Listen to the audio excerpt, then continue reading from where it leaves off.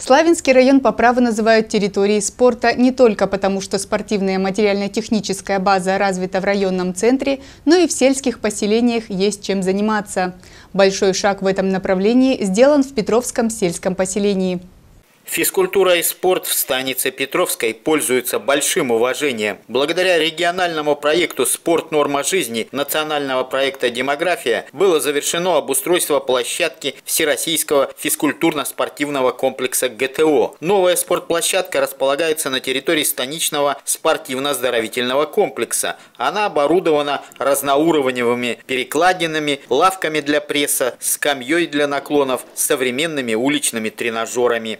Площадка пользуется большой популярностью у местных жителей, причем возраста абсолютно разные. И нужно подчеркнуть то, что приходят люди, как имеющие более профессиональный статус э, спортсмена, так и обычные люди пенсионного возраста занимаются, все тренажеры регулируются там по силе.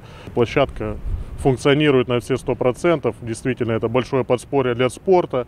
Плюс мы сюда подключаем профессиональных спортсменов, борцов, спортшколы. Они сюда приходят, выстраивают так э, свою тренерскую работу, свои занятия, чтобы прийти сюда и здесь уделить там тоже внимание каким-то силовым упражнениям. Близится к завершению работы по строительству универсального спорткомплекса на станичном стадионе. Этот важный социальный объект очень нужен петровским физкультурникам и спортсменам. Положить должны покрытие, игровое, то есть оно куплено, оно стоит, но мы сейчас э, по технологическим э, особенностям укладки этого покрытия должна быть температура в спорткомплексе, температура именно плиты получается, куда будет ложиться это покрытие, больше 16 градусов. Вот сейчас как бы мы э, ведутся работы по газификации, окончанию газификации, подключению комплекса. И, соответственно, ну, практически там все готово процентов на 90. Плюс остался асфальт и осталось, получается, у нас озеленение.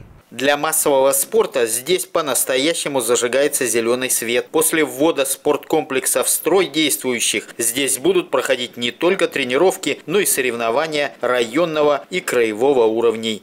Андрей Вишневский, Дмитрий Волошин, программа «События».